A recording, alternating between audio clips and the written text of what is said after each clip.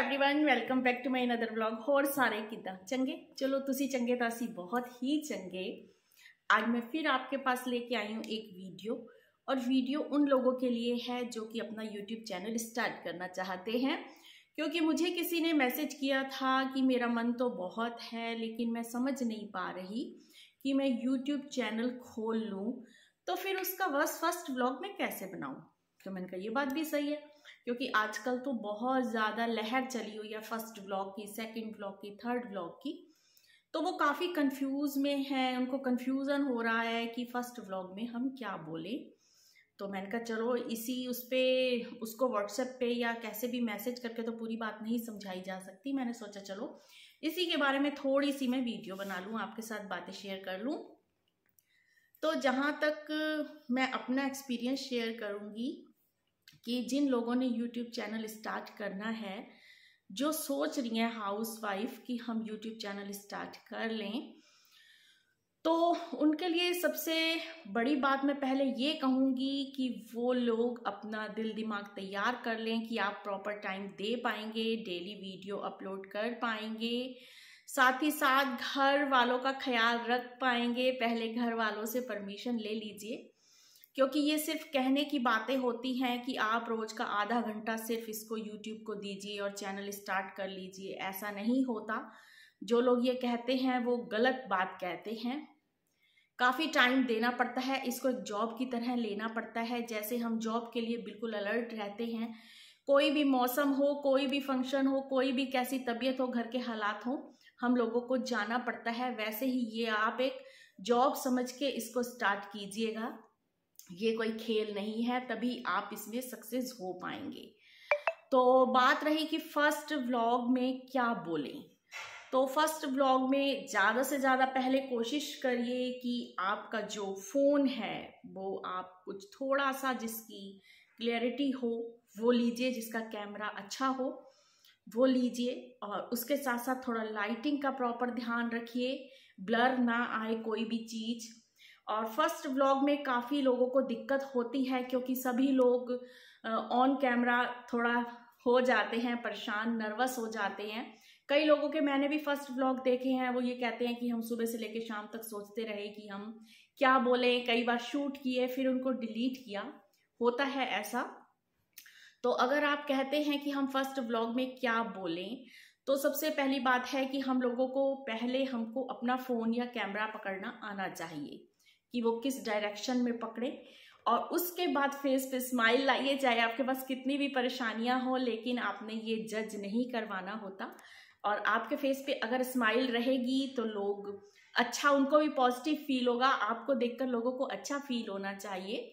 तो बस फिर आप अपना नाम बताइए, अपने शहर का नाम बताइए, आपकी जो फैमिली है, उसके बारे में अगर आप बताना चाहते हैं, आप अपनी एजुकेशन के बारे में बताना चाहते हैं, आप अपनी जॉब के बारे में या कोई बिज़नेस स्टार्ट करते हैं या जो भी आप करती हैं, आप उसके बारे में बताइए। आप अगर अपना बैकग्राउंड यानी कि फैमिली में अगर ससुराल या मायका अगर आप बताना चाहती हैं तो वो बता सकती हैं। साथ में सब लोगों से रिक्वेस्ट करना बहुत ज़रूरी है बार बार ज़रूरी है। कि प्लीज़ आप हमें सपोर्ट कीजिए, क्योंकि ये सपोर्ट के बिना चैनल बिल्कुल भी नहीं चलता। तो सब लोगों से सपोर्ट करने के लिए हमें बार बार डिमांड करनी है स्माइल देनी है अच्छा अच्छा बोलना है, किसी की बुराई नहीं करनी है, क्योंकि बुराई करके कब तक आप चैनल चला लेंगे तो लोग देखना भी नहीं पसंद करेंगे। अच्छा अच्छा बोलिए, बस अगर आपको कुछ आता है, आप उसके बारे में बता सकती हैं, अगर आप पढ़ाती हैं या आप मतलब हाउस वाइफ हैं तो आप घर में कोई काम करती हैं, या आप किसी सोशल वर्कर हैं तो आप किसी संस्था से जुड़ी हुई हैं, आप जो कुछ भी हैं, उसके बारे में आप बता दीजिए।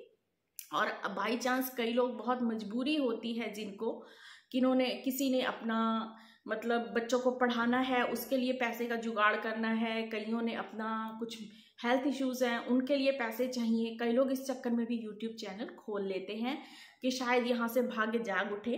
और भाग्य जागता भी है मैंने देखा है कि ये ज़िंदगी मिलेगी ना दोबारा नाम का एक चैनल है। तो उसमें उस लेडीज़ ने अपनी शादी को अभी दो ढाई साल ही हुए थे तो उसने अपने हस्बैंड का जो उसकी किडनी फेलियर हो गए थे और वो एक आ, मतलब ड्राइवर थे ऑटो चालक थे। तो उनको लव मैरिज थी किसी ने सपोर्ट नहीं किया। एक छोटा सा दो ढाई साल का बच्चा भी था तो फिर उसने लोगों से थोड़ी सी हेल्प मांग के यूट्यूब चैनल स्टार्ट किया और उसके लक ने साथ दिया। मैं तो यही कहूँगी क्योंकि मेहनत तो हर कोई करता है और उसके हस्बैंड की किडनी जो थी वो ट्रांसप्लांट करानी थी। उसके लिए उसको पैसा चाहिए था। तो पैसा नहीं था। किडनी उसने खुद की ही देनी थी। तो फिर इस तरीके से उसने यूट्यूब चैनल स्टार्ट करा, अपनी स्टोरी बताई तो वो काफ़ी जल्दी वायरल हो गई। लोगों ने उसको बहुत पैसा भेजा, बहुत सपोर्ट करी डॉक्टर्स ने भी करी और फाइनली उसने मतलब अपनी किडनी डोनेट करी और उसके हस्बैंड का उसने ऑपरेट करवा लिया। तो आज वो उसी के ज़रिए, अब हस्बैंड उसका कमाने लायक तो नहीं रहा अभी वो रेस्ट में ही है। तो जैसे कि आपको पता ही है कि किडनी के जो पेशेंट होते हैं, उनको काफ़ी ज़्यादा प्रॉब्लम्स फेस करनी पड़ती हैं, उनको इन्फेक्शन हो जाता है। मेडिसिन भी बहुत ज़्यादा उनकी कॉस्टली और रेगुलर चलती हैं। तो वो बेचारी घर का खर्चा, बच्चे का पालन पोषण, हस्बैंड की दवाइयाँ, टेस्ट वगैरह, वो सारे इसी यूट्यूब चैनल से जो अर्निंग होती है और वो कुछ एड वगैरह से जो भी मिलता है, वो उससे काम चला लेती है। तो कई लोगों का मैंने देखा है कि ट्रीटमेंट वगैरह कराने के लिए जो पैसा चाहिए होता है, कई बार वो मिल जाता है। कईयों ने बहुत बड़ी बड़ी गाड़ियाँ ले ली हैं, घर ले लिए हैं तो जिसकी किस्मत साथ दे जाए। अब पता नहीं होता कि किसकी किस्मत में लिखा है। इसीलिए अगर आप ट्राई करना चाहते हैं ब्लॉग स्टार्ट करना चाहते हैं तो कर लीजिए, कोई ऐसी बात नहीं है, लेकिन माइंड मेकअप करके करिएगा कि इसको टाइम देना पड़ेगा। तो बस फिर क्या है कि आप अपनी अगर जो मजबूरी है या ज़रूरत है जिसके कारण आप ये यूट्यूब चैनल स्टार्ट करना चाहते हैं, आप वो भी बता सकते हैं। अगर आपका शौक है तो वो भी बता सकते हैं। फ़िलहाल फ़र्स्ट वाले ब्लॉग में इतना ही बताइए।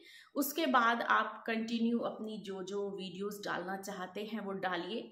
अगर आप किसी गाँव में हैं, फिर तो आप बहुत लकी हैं क्योंकि आजकल गाँव का बहुत ज़्यादा चलन चल रहा है।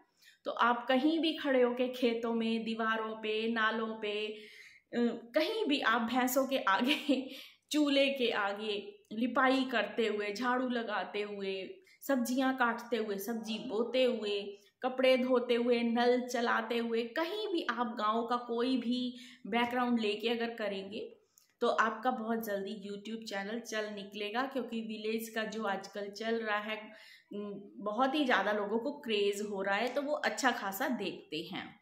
क्योंकि जो सिटी की लाइफ है, वो सब लोग एक जैसी ही होती है तो विलेज की लाइफ देखना ज़्यादा लोग पसंद कर रहे हैं तो आप अपना वैसा बैकग्राउंड ले लीजिए और अपना दिखाइए, जो भी है आपका घर बार।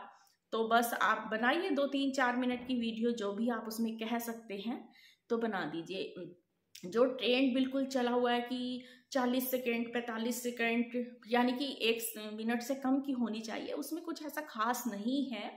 बाई चांस किसी की हो गई वायरल तो हो गई। पहले वाले में आप जितना अपनी क्रिएटिविटी दिखा सकते हैं, लोगों को अट्रैक्ट कर सकते हैं, लोगों को इंगेज कर सकते हैं तो कर लीजिए। तो बस इसी तरीके से आप फिर यूट्यूब की जर्नी अपनी स्टार्ट कर सकते हैं। तो उम्मीद करती हूँ कि जिन्होंने मुझे ममता जी ने मुझसे मैसेज करके पूछा था कि मैं यूट्यूब चैनल स्टार्ट करना चाहती हूँ। तो फिर मैंने आज आपको लगता है पूरी तरह समझा दिया होगा। मैंने अपनी तरफ़ से तो फ़िलहाल कोशिश की है और अगर आपको कुछ और पूछना हो तो प्लीज़ मैसेज कर दीजिएगा तो फिर मैं उसके ऊपर भी एक और वीडियो बना दूँगी। तो बस इसी के साथ मैं करूँगी वीडियो का एंड फिर मिलूँगी नई वीडियो के साथ। तब तक तुम आपका ख्याल रखना है, असी आपका ख्याल रखना है। बाकी सारे का रब रखा।